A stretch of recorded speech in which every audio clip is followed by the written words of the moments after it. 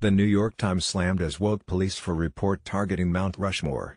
To view the full article, click the first link in the description below. The New York Times has faced intense backlash over its report about the history of Mount Rushmore.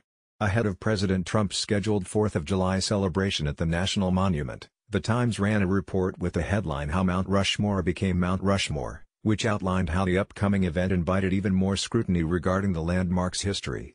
Along with the criticisms George Washington, Thomas Jefferson, and Theodore Roosevelt have faced in recent weeks, The Times reported the condemnation from Native Americans since the monument was built on indigenous land.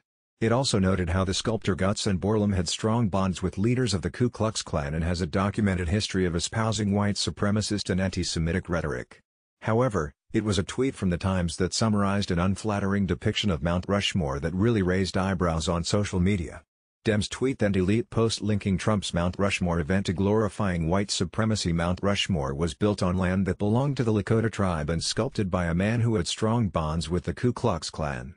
It features the faces of two U.S. presidents who were slaveholders, The Times wrote. Critics blasted The Times as being the woke police, with the National Monument as its latest target.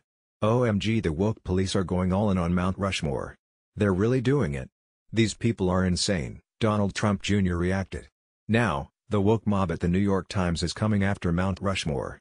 If we give this mob an inch, they'll take a mile, Senator Tom Cotton, Republican Arkansas, similarly said. NY Times columnist Paul Krugman slammed for saying coronavirus is coming for white supremacists in golf carts. The New York Times building is located on land the Dutch colonists swindled from the native population. They must abandon their stolen land and donate the proceeds to BLM, radio host Buck Sexton wrote at New York Times pushes. To view the full article, click the first link in the description below.